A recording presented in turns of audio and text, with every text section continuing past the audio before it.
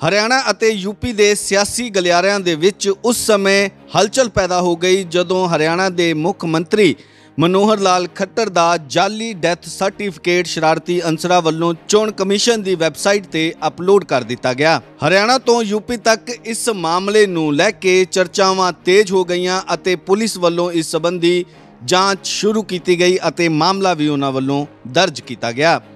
Certificate ਦੀ ਜੇ ਗੱਲ ਕੀਤੀ ਜਾਵੇ ਤਾਂ ਜਿਹੜਾ ਸਰਟੀਫਿਕੇਟ ਚੋਣ ਕਮਿਸ਼ਨ ਦੀ ਵੈਬਸਾਈਟ ਤੇ ਅਪਲੋਡ ਕੀਤਾ ਗਿਆ, ਉਹ ਯੂਪੀ ਦੇ ਸ਼ਾਹਗੰਜ ਤੋਂ ਜਾਰੀ ਹੋਇਆ ਦਿਖਾਇਆ ਗਿਆ ਹੈ, ਪਰ ਸ਼ਾਹਗੰਜ ਪ੍ਰਾਇਮਰੀ ਹੈਲਥ ਸੈਂਟਰ ਤੋਂ ਲੰਮੇ ਸਮੇਂ ਤੋਂ ਕੋਈ ਸਰਟੀਫਿਕੇਟ ਜਾਰੀ ਨਹੀਂ ਕੀਤਾ ਗਿਆ। ਇਸ ਸੰਬੰਧੀ ਹੈਲਥ ਸੈਂਟਰ ਵੱਲੋਂ ਜਾਣਕਾਰੀ ਦਿੱਤੀ ਗਈ ਹੈ। ਵੈਬਸਾਈਟ ਤੇ ਅਪਲੋਡ ਕੀਤਾ ਗਿਆ ਸਰਟੀਫਿਕੇਟ 2 ਫਰਵਰੀ 2023 ਨੂੰ ਮਨੋਹਰ ਲਾਲ ਖੱਟਰ ਪੁੱਤਰ ਹਰਬੰਸ ਲਾਲ ਦੇ ਨਾਮ ਜਾਰੀ ਕੀਤਾ ਗਿਆ ਅਤੇ ਇਸ ਸਰਟੀਫਿਕੇਟ ਦੇ ਵਿੱਚ ਮੌਤ ਦੀ ਤਾਰੀਖ 5 ਮਈ 2022 ਦਰਜ ਕੀਤੀ ਗਈ ਹੈ।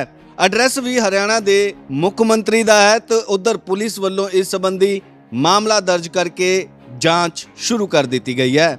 ਭਾਵੇਂ ਪੁਲਿਸ ਵੱਲੋਂ ਇਸ ਸੰਬੰਧੀ ਜਾਂਚ ਦੀ ਗੱਲ ਕਹੀ ਜਾ ਰਹੀ ਹੈ, ਪਰ ਹਰਿਆਣਾ ਦੇ ਮੁੱਖ ਮੰਤਰੀ ਦਾ ਡੈਥ ਸਰਟੀਫਿਕੇਟ ਚੋਣ ਕਮਿਸ਼ਨ ਦੀ ਵੈਬਸਾਈਟ ਤੇ ਕਿਸ ਤਰੀਕੇ ਦੇ ਨਾਲ ਅਪਲੋਡ ਹੋ ਗਿਆ, ਇਹ ਆਪਣੇ ਆਪ ਦੇ ਵਿੱਚ ਕਈ ਤਰ੍ਹਾਂ ਦੇ ਸਵਾਲ ਖੜੇ ਕਰਦਾ ਹੈ।